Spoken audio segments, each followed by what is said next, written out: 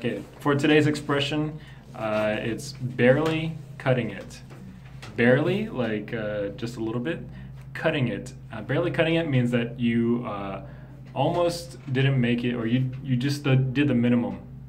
So you're barely cutting it. So like if you're if you're talking to your boss and you're asking about the results of your um, your uh, KPI or your sales from last month, and you're asking, oh, how am I doing? And then your boss says, well, actually, you're barely cutting it. You're at the bottom. So you're, you're doing the minimum uh, to meet requirements, but not more. So uh, we also say make the cut.